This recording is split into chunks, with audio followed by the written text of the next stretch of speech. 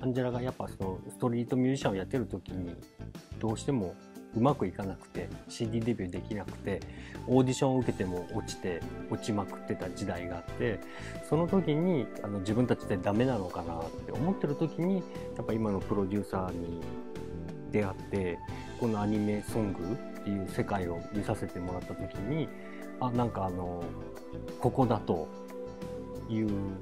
アニメに命を救われたというかそういうところがあるんでそこからあもうこれからこの先一生アニメのために恩返しをしていこうっていうのを最初の宇宙のステルビアの時に自分の中でアンジェラの中で決めてそれからもう一つ一つの作品に恩返しですね。はい、でもやっぱりその時のままだ返せてないと思う。でもなんか主題歌ってやっぱりこの世界に入るまであの冷静にそこまで考えたことはなかったんですけどあの主題歌を聞いてあの特にオープニングとかって聞いてあなんかこうこのアニメ見てみようかなって思う方が結構いるっていうことに気づいたんですよやっぱり何作品か書いていくごとに。でなんかもう10年以上こうしてこの世界にいてあの主題歌アンジェラだってってこう発表された時にあアンジェラならこのアニメ見てみようかなっていう声をびっくりするほどいただくんですよ。うん、なんかそれがすごい嬉しいなと思います。はいそうだねアニソンで良かったとやっぱアニソン歌ってないとこうやってアメリカにも来れてないし、うん、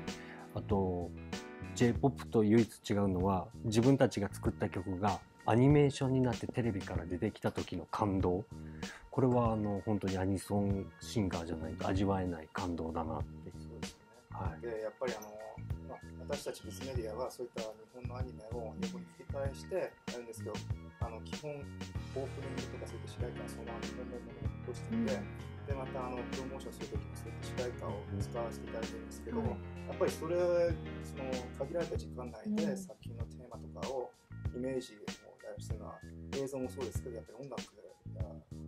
BGM も大切なんでやっぱアンジェラさんの方々のそういった作品のテーマが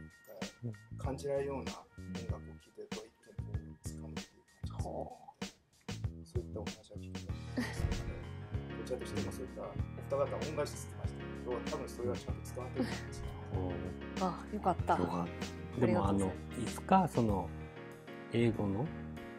バージョンの主題歌 日本では日本語で歌ってるけどこっちでもやっぱ放送される時には英語の歌詞の、まあ、訳したものでもっていう主題歌をやりたいですね。った場合あの歌詞をなんかこうアメリカの、まあ、アメリカではなくこう海外のあのファン層を意識したような感じに変えるんでしょうか。それともそのまま日本の日本で一度書いたテーマをそのまま続けて直したりテーマを変えることはないですね。はい。やっぱりその訳したものを英語バージョンでっていうのはやりたいですね。頑張ってください。頑張ります歌うの私だからね。なんかもうすごい僕がやりますみたいな感じだけど歌うの私なんで、すごい頑張りますって言ってるけど。